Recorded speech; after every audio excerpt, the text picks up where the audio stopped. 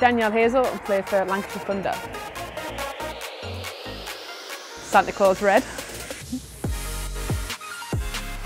We've obviously got Sarah Taylor in our team. We've got three overseas, uh, Amy Satterthwaite, Lea Tahuhu and Jess Jonassen. So they've obviously three girls to look out for.